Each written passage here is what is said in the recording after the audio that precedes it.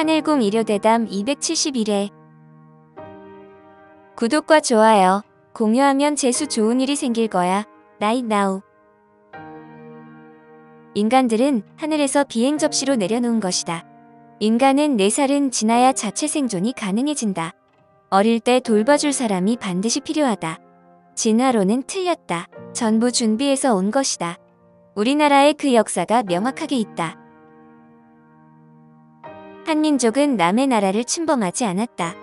환인이 환웅이란 자를 비행 접시로 내려보냈고 그 후손이 단군이다. 하늘의 정자와 땅의 난자가 만난 것이다. 한국만 개천절이 있다. 아래서 나왔다는 박혁거세나 김수로왕은 전부 비행 접시에서 내려온 것이다. 비행 접시가 알처럼 생겼다. 지구는 인큐베이터가 아니다. 어린 인간들은 혼자 살아남을 수가 없다. 이 지구란 곳에 인간이란 이단아가 온 것이다. 짐승들은 알아서 잘 자라고 돌봄이 필요 없이 생존한다. 지구는 영혼의 인큐베이터다. 전 우주의 362무 8800불이라는 행성에 인간들이 성장하고 있다. 반드시 이런 교육을 거쳐야 한다. 이것을 빨리 알아차린 사람은 행복한 사람이다. 하늘궁에 온 사람들의 후손들은 제사를 지낼 필요가 없다. 윤회를 안 하고 전부 천국으로 올라가기 때문이다. 지구란 곳에서 순환할 필요가 없다. 나라에 충성을 하다가 죽는 것이 부모를 위해 살기 위해 도망친 것보다 더 큰 효도다. 나라가 있어야 나머지도 있기 때문이다.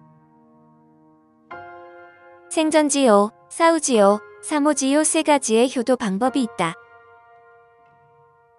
주역은 변화지서다. 또한 진퇴지서다. 나아가고 물러가는 것을 잘해야 한다. 변화하는 것을 잘해야 한다. 주역이 있다고 해도 허경영의 천사가 있어야 완성된다. 진퇴양난일 때 천사의 판단이 필요하다. 축복은 만병통치다. 나쁜 것이 전부 좋은 것으로 바뀐다.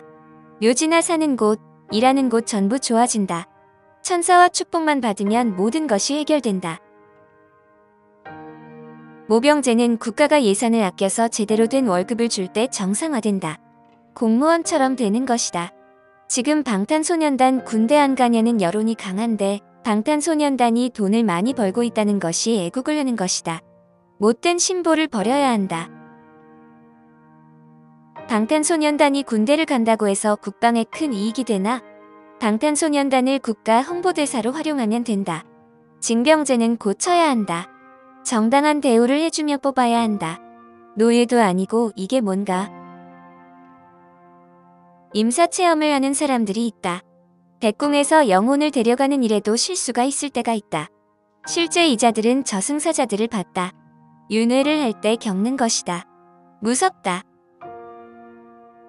신인의 인사 선택은 다 이유가 있다. 사람 하나 쓸 때 전부 보고 쓴다. 도둑놈을 쓰지 않는다. 신인은 모르는 것이 없고 우주를 움직이는 자다. 사람을 잘못 뽑아서 쓰고 있다는 말은 안티들이 쓰는 말이다. 허경영을 안티하는 자들은 머지않아 백궁으로 명단이 자동으로 올라간다. 그들의 모든 것을 보고 있다. 허경영은 성령을 탁탁 넣어버린다. 1초 만에 전 세계인에게 축복을 넣을 수 있고 뺄 수 있다. 말로 해도 되고 마음으로만 해도 가능하다. 앞으로 허경영 식단과 허경영 식탁을 먹으려고 하는 자가 속출한다. 허경영을 부른 음식은 전부 농약이 없고 건강식품이다. 그 차이가 어마무시하다. 허경영 스티커를 몸 아픈 곳 여러 군데에 붙여도 좋고 몸 한 곳에 붙여도 좋다. 다만 스티커가 떨어질 때면 그 스티커를 모아두거나 나무 밑 같은 자연에 돌려줘도 좋다. 쓰레기통에 버리는 것은 좀 곤란하다. 현재는 실제로 존재하지 않고 과거, 미래만이 존재한다. 똑, 이 과거고 딱이 미래다. 똑딱똑딱만 한다. 현재는 과거와 미래의 꼽살이다. 과거와 미래를 한 단어로 만든 것이 현재다.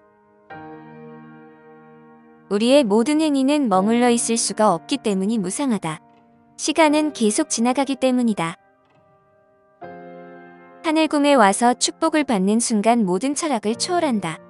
이렇게 간단하다. 공부로 백궁 가는 것이 아니다. 축복받고 천사받고 명패하면 바로 백궁에 간다. 허경영 우주에너지 제품은 역시 본자라!